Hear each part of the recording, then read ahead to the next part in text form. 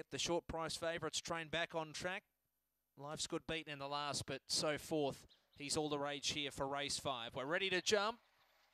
Set for action racing. So forth he began well. Wanted to run off the track a bit though. Teddy's issue drives across and finds the front, led by three lengths onto the back. Slippery Duck gets to second. Then came Master Spice from My Dark Lorien. Well back so forth trying to run on. Then came Little Turbo from V-Rat. And the last one was Amalfi Coast. It's all Teddy's issue into the straight. He's six lengths clear, chasing hard My Dark Lorien late. But Teddy's issue gets in. One by two lengths at the line. My Dark Lorien second. Five further back to Master Spice in third. Uh, Slippery Duck from So Forth.